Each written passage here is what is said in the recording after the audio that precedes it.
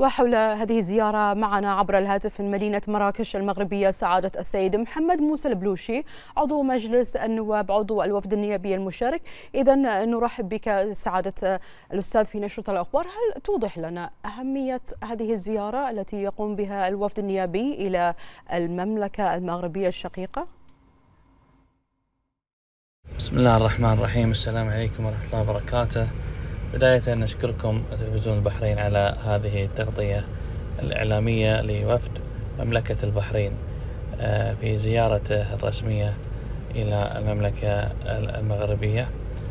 وتأتي هذه الزيارة انطلاقا من العلاقات التاريخية ما بين البحرين وما بين آه، المملكة المغربية الشقيقة آه، طبعا شهدت هذه الزيارة عقد جلسات مباحثات برلمانية ثنائية بين المجلسين البرلمانيين برئاسة معالي السيد أحمد بن سلمان مسلم رئيس مجلس النواب ومعالي السيد رشيد الطالبي العلمي رئيس مجلس النواب المغربي واجتماع مشترك كذلك مع معالي السيد النعم ميارة رئيس مجلس المستشارين المغربي ولقاء مع معالي السيد ناصر بوريطة وزير الشؤون الخارجية والتعاون الأفريقي والمغاربة المقيمين بالخارج.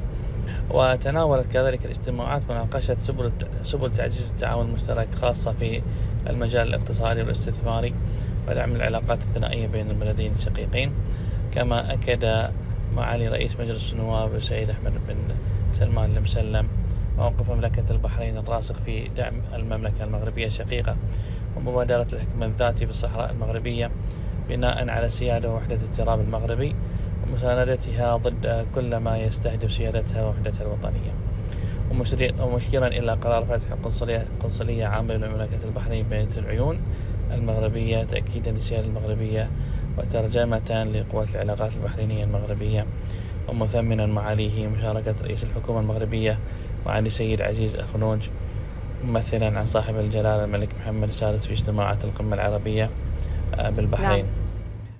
نعم من مدينة مراكش المغربية سعادة السيد محمد موسى البلوشي عضو مجلس النواب عضو الوفد النيابي المشارك. شكرا جزيلا لك.